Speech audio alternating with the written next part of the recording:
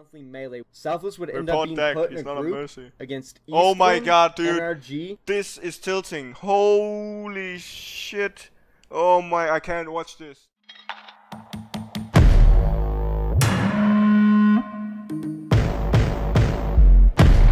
I see that look in your eyes. It makes me. the end of their But guys, look, we don't have a mercy. That's why we lost. We di- we didn't have a mercy. Deck was Deck was trolling. Deck was griefing. We didn't have a pit. mercy, so it we just lost. seemed like at this point, Oh, by, by the way, uh, Michael made a video for us. He wanted us to uh, check it out. He, you know Michael? He apparently made a video about us. We can watch that while in queue. It's about me, it- so. This is a video about me.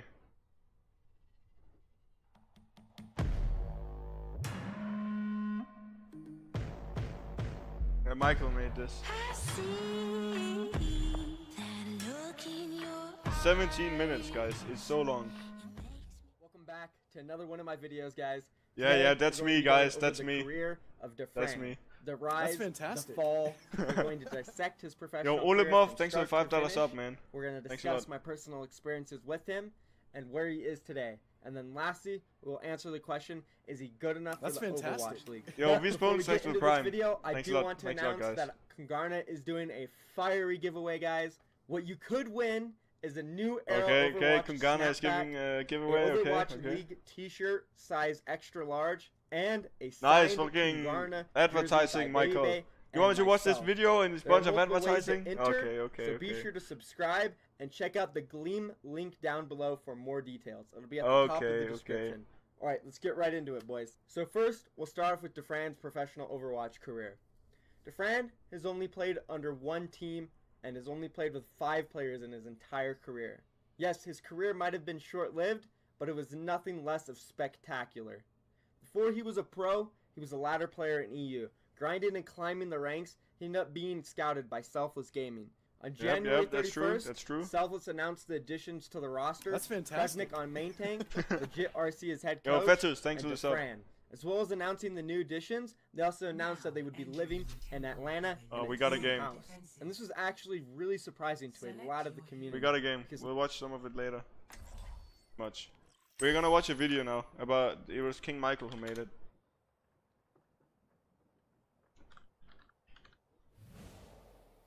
Wait, someone's at the door. Hold on. Okay, let's watch it. King Michael. Uh, here we go. because not many teams had houses at the time. And considering that Selfless had been a tier 2 team and never really showed that they could compete with top teams, it was definitely not expected. The additions Selfless made were decent, but nobody Oh, had high expectations. We for got them. by Ronin. Selfless had not been successful in the Overwatch scene yet. They would debut this roster This in the long tier 2 time ago. tournaments. From February 6th the to the 13th, they would play in three owned. tournaments. We got. Two AG weeklies and a Cal Open. They ended up placing third through fourth in all three of them, losing to random unknown teams like Burgermen, Nameless, and Ronin. It was clear that the team was still going through a learning phase. They were obviously trying a lot of things out. They would have Dafran, Sinatraa, and Emong flexing to almost every hero possible with random combinations. One game you would see Dafran on Zarya and Emong on Soldier. Then the next, it was the exact opposite with Dafran on Soldier and Emong on Zarya. Along with that, they were clearly experimenting playstyles. As one fight, they would play extremely aggressive, and the next, they would play passive. With being a new team, they clearly struggled to find their identity. Yeah, and after true, losing he's these right. three tournaments, they still looked like an average tier 2 team.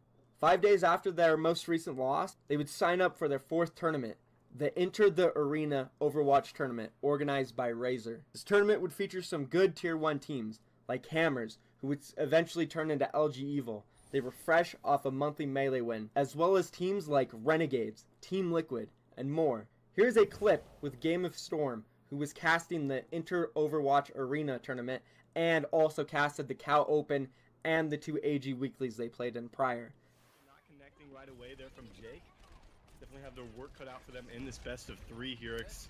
And I really, I mean, going into this matchup, you got to agree. I, I, we definitely thought Hammers had the upper hand in this one. They were coming off a pretty big win streak uh, into this, and Selfless, a team that had, you know, a, a couple of roster adjustments as of late and coming into today just didn't look as, or excuse me, coming into this tournament didn't look super strong by any means, uh, given their recent uh, failures in even weekly tournaments. They dropped to teams, I believe they dropped to, uh, they lost to Nameless a couple weeks ago, and then last week they lost to Ronin 0-2, and then they turned it around yesterday, beating Team Liquid and Denial Esports. So Yeah, Hammers were really good. what they're Hammers were do, one of the best uh, teams. they weren't able to do a couple weeks ago when they dropped those matches. You can hear him talking about Selfless's shortcomings in their previous tournaments. This was in their semi-finals match against Hammers, who were on a major winning streak at the time. During this match, Selfless went from looking like an average tier 2 team to competing with one of the best teams in North America at the time. And we would consistently see them pushing and rushing into the spawn door of Hammers. Now this was extremely shocking, especially considering how they were playing, because at the time, no one expected Selfless to even come close to competing with Hammers. But after insane showing, they took a 2-1 victory. In the next match, they played against Renegades in the finals. In a very similar series like the one against Hammers, they would take it away with a 3-1 victory, where they showcased more of their aggressiveness and weird playstyle. This tournament was only the beginning of the new Selfless era. They would end up going on a crazy 37 game win streak tear. For the next 30 days, they won 8 tournaments in a row against teams like Tempo, Splice, Team Liquid, CLG, times. Denial, Gale Force Esports, and more. This would lead them to their biggest tournament yet, the Alienware Monthly Melee March. Going into this tournament, everyone was really intrigued to see how Selfless would stack up against some of the best teams in the world. Yo, Tracer Noob, With thank every you major so much for North American support, team man. competing, And, aside uh, Merry from Christmas, Envious, dude. They finally got their chance to See play later, against the best North America had to offer. They were placed in a group with Immortals, Runaway, and LG Evil. After spending most of these maps spawn camping, they would finish the group 3 0. They would then move into the playoffs where they would face FaZe. They would take an easy victory as well, which put them in the upper bracket finals against Rogue. This Dude, would be their this match final was test. tilting as hell. they were able to take out Rogue, it would submit Selfless as being one of the We, best we were teams NA could 2-0 against offer. Rogue. Selfless we- came out in the series firing hard with two easy map wins early in the series, making it 2-0. But in crazy fashion, Rogue would slowly climb back into the series. And before This we knew so it, close, was guys. going to This a match game was so five. close. With It's Selfless crazy. trying their hardest to close the series out, Rogue just wouldn't be put away. They won it in a reverse sweep, 3-2. Here you can see stats of this match. Dafran played absolutely out of his mind, completely outclassing every player in the match. And despite this incredible performance, they were still not able to close out the series. It's right though, they could still come back up to the finals. They moved through the loser bracket and faced Rogue in the grand final. This time again, they would come out strong and they would take a 2-1 series lead. But as Rogue did before, they clawed their way back in. Their will to win seemed too strong. Selfless would end up losing the next two maps, and they would lose the series 2 to 3 for the second You time so in a row. Selfless and Dafran came extremely close to defeating Rogue, but they just weren't able to achieve the goal that they so desperately wanted of being the best in North America. Back to back 2 3 defeats when they had the lead must have been tough on the entire team. The next tournament Selfless Hey, would end up competing in was the Pit. Selfless would clean sweep their group, This going is 5 nostalgia, holy only shit. dropping one map throughout. They would end up playing Rogue once again in the upper bracket finals of the Pit. With their sights set on revenge, Selfless came out swinging once again and they took a lead for the third time in a row. They were up 2 1. But again, for some reason, Selfless just couldn't close the series out against Rogue. For the next two maps, Selfless looked stagnant and they couldn't make any plays. Dafran looked like he was getting shut down, and Rogue clawed their way back into the series and took the victory. After this, they would go into the loser bracket finals against Team Liquid and actually lose 2 to 1. So this would be the end of their But guys, look, we don't have a mercy. That's why we lost. We we didn't have a mercy. Dak was Dak was trolling. Dak was griefing.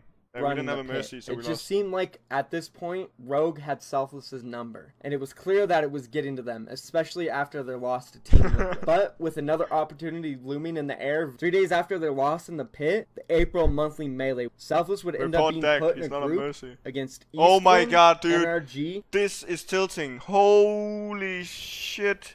Oh my, I can't watch this. This was so tilting, dude. I could have I could have killed this Pharah and we would have won. Look at AKM, dude. He just goes deep. God damn and it. Immortals. And my position was so bad Selfless here. would actually end up losing games Oh my to god. an unknown team called East. I should have been on the high as ground. well dude. to but then, then again, I don't know. surprising My team wanted to take a fight, so maybe I shouldn't have been on the high ground. I don't know. Losing losses to Team Liquid, Eastwind, This and was- Immortals, it oh seemed like God, Selfless might be going downhill. Oh They'd end up being god. placed at the bottom of the losers bracket and would end up having to climb Look, my team wanted to take a fight here, so we have two fights, which makes sense, right? all the we way back up to the finals just to get another so shot we at going. Rogue. We wanted two And the next day, so I jumped down do too. just that Look, though. I They jumped down and I'm going on the low ground. and crawling their way all the way to the grand final. I shouldn't have jumped down. end up- Yo, yo, because look at my team is just pushing up. So I thought, what the fuck am I doing? Should I stay on the low, the high ground and be safe, or should I push up and help my team? So of course I need to help my team. So I push up here playing Rogue and help the team. once again for It was the so fourth tilting. time. This would Now also be. Selfless's last chance to I'm prove I- I don't everyone ground anymore. wrong and claim victory because Rogue would be leaving North America for Korea to play in Apex Season 3. Okay, the now I get fucked. extremely high. I look up, I look up, I see the Pharah coming in. I miss my helix. I miss my helix. And he goes down and he kills me. Selfless once Because I'm not on the high ground. And then we lose the match. If I was alive, we would have won. again would come out strong and they took another 2-1 lead in the series. With another lead, it was still so hard to doubt Rogue would lose. With their will to win, it was just impossible to go against them. But but there was one- one also fight this more. feeling of that there was no way Selfless would let this one go again. They would not let Rogue come back for the fourth time in a row. It just could not happen. I was torn on which storyline to believe. Was Selfless finally going to do it? Or was Rogue going to do what they already did three times previously? But, as most of us already know, just like the other three games, almost perfectly written in the stars, Rogue came Okay, so here, here I am. I think I made a mistake. Look, Michael 3D nearly has ults. No one communicated that, so that's that that's the team. That's the team, not only me. I have ult, so I go on the high ground. And I, I I don't know why I went on the high ground, but I went on the high ground to try and create space, maybe to get a high ground. But I'm playing against Dive, so I shouldn't go alone on high ground, right? So would we have won if I went on the low ground with them? I don't know. Came back and won the series for the fourth I'm going up here. in a I'm using ult. I'm creating space. row, and for the But the last monkey time. Selfless would ever be able to try to beat them. I mean, Selfless had to have been demoralized, heartbroken, I'm fucked. devastated. I mean, whatever depressing word Should I went on the low ground with my team? But then the monkey ult would have monkey the whole team. If I went on the low ground with my team, I would have gotten nano boost, and then we would have won. we can think of. I think I made a That mistake. is what I think they I must have felt after this loss. That I know so what it's like dude. to lose I big should- I'm- matches. I don't know if I should have I've played in big ground. tournaments and I've lost these crucial games. But Maybe I I should couldn't have went on the imagine the feeling these players must have felt after losing No, you did four fine. times No, in a no, row it's a good with a if lead I over went on the low Rogue. This would have put them up with boost. envy as one of the greatest teams in North America of all time. They could have been competing in Apex. They could have went on to be the best team in the entire world. But Oh, that's because thanks they the couldn't get past this one I little think I should hump have went on the low of ground defeating with the team Rogue, to get we will never boost. really know if their potential was that high or where they could have gone. So yeah, that was the last time they ever played Rogue. They would go on to lose the next two tournaments they competed in. Yeah, most yeah, I don't wanna notably, talk about the May this. monthly, This is- I'm where we reformed. could see I'm Dafran clearly giving up and throwing against Yikes. And then the very last tournament they played was the Rumble in May. They would actually end up winning this one, about and it would be the last tournament Dafran ever played. Ending up going 13 and 1 in maps throughout the entire tournament. It was a perfect way for Dafran to go out on top. But of course, I'm reformed, guys. Rogue wasn't there, so they weren't exactly on Look, top. Dak joins me. Okay, Dak now that I've me. gone over to Fran's short but incredible run on Selfless as a pro, I'm going to go over my personal experiences with him. You guys might not know this, but I actually scrimmed against Selfless a decent amount when Dafran played for them. I first ran into their spawn camping strategy in a warm-up scrim for the first tournament they ever won, the Inter Overwatch Arena by Razer. My team was taken off guard. We were thinking in our heads, WTF, how is this working? There's no way they're going to do this in the tournament. After literally getting rolled on five maps in a row, they ended the block 30 minutes early because we weren't providing enough competition to warm them up for the tournament. After seeing them win the tournament too, we tried our best to schedule as many blocks with them as we could. This way, we could learn their playstyle and try to counter it. We would then end up competing against Selfless three days later in the Rivalcade NA Weekly Number One, where they were even more relentless. My team was left flabbergasted with how insane Dafran was playing. Like literally, I've never played against one player in my entire career where I was like, "Oh my god, this guy is the absolute best. I can't do anything." Going up against a French soldier was the hardest player on any hero to play against. It's not Effect on Tracer, it's not Time on Widow, not Unkoe on Zen, Soon on Tracer, Shadowburn on Genji. I keep going on and on and naming players that I've played against. Dafran on Soldier was the hardest thing in all of Overwatch to play against. My team would spend hours after scrims analyzing VODs of Selfless playing and watching Dafran and trying to figure out on how we could counter them. We just couldn't comprehend how they got so good out of nowhere. They were literally just an average tier 2 team a couple weeks ago. Nothing made sense. After all this analyzing and practicing, we would always just end up coming to the solution that Dafran was the best player to ever touch the game. Playing against him was like God playing damn a it, dude. ghost. One second he's in one spot hitting you in the head with every single shot, and then the next second he's gone and he's shooting you in the back. Boom, you're dead. Nothing you can do. From his aim to his movement, it was just incredible. After Selfless beat my team in that rivalcade, we decided to take time off of tournaments to rethink and rebuild our team from strategy to players. I finally got another chance to play them though, two months later in April in the monthly Rumble. And to my team's surprise, this was one of the closest matches we ever played. It was extremely close, with them beating us on the first map, Kings Row, and then us beating them on the second map, Gibraltar. I don't know how we Went won into this the game. third map, Dorado, see who would win the series. This map was We shoulda lost this game. He close. shoulda we were won. steamrolling them through first and second, and we got to third with 3 minutes and 30 seconds left to cap halfway. We were unable to close it out. We last on the very last fight with only a meter left to cap the point. It felt really good to have an extremely close match with them, but I still can't shake that they were only playing worse because they were going through stuff internally and they were fresh off their fourth loss against Rogue. This would end up being the last time I got to compete in a match against Dafran in a tournament. I did still get to scrim them a few times,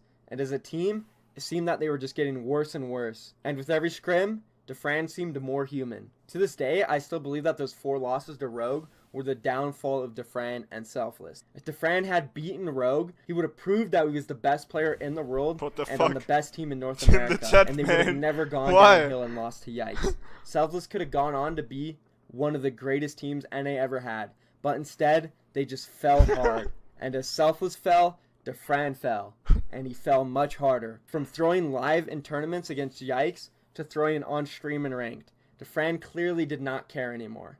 I don't know exactly what caused Dafran to throw games on stream. Some say he didn't know or understand what he was doing. Oh, was look at this pulse Me bomb, dude. Look at this. I think Dafran I was see him in the recall. burnt out Look, look, look. Overwatch. Look, look, look at this. I want to show you this. I see the Ana in the recall. Watch. Look, I see, I see the Ana for a split second. and playing with Selfless. DeFran wanted out. He wanted to be free. He wanted to do things, but he couldn't. He was trapped in some house in Atlanta playing Overwatch 14 hours a day. Sure, I don't know exactly what he wanted to do. Maybe he wanted to see his family, have a real social life, or maybe he just wanted to go back to the simple life of working at McDonald's. I don't know.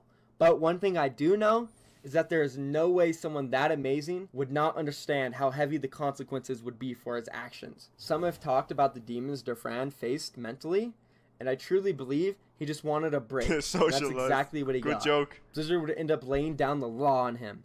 banning I'm not gonna talk about why Contender season zero I'm not and season one. I'm not gonna also talk about banned this. for the entirety of season five ranked and other competitive tournaments. This would lead to Dafran taking a long break. He returned in ranked somewhere around October and started his stream up about three weeks ago in December. He has gained a legion of fans and he seems to be enjoying the life of a streamer and seems to be having a lot more fun. Yeah, that's I wouldn't say that's he is the same player he was before, though. Of course, a long break is going to have its effects on his gameplay, but I think with more Yeah, time and true. serious practice, Dafran could easily return to his prime. So to answer your question, is Dafran still good enough for the Overwatch League?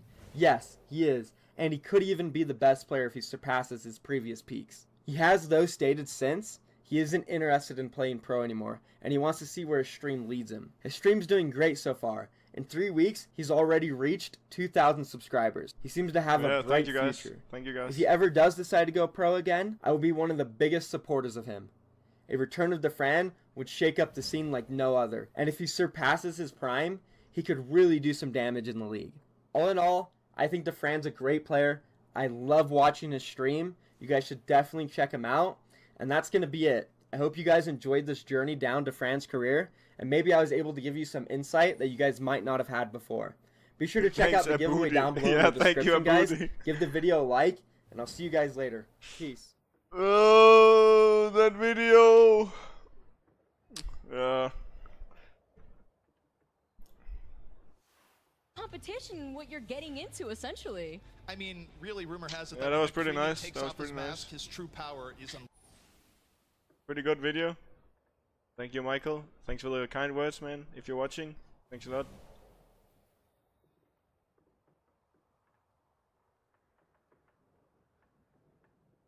Okay, eight inches. what? Eight inches? What do you mean?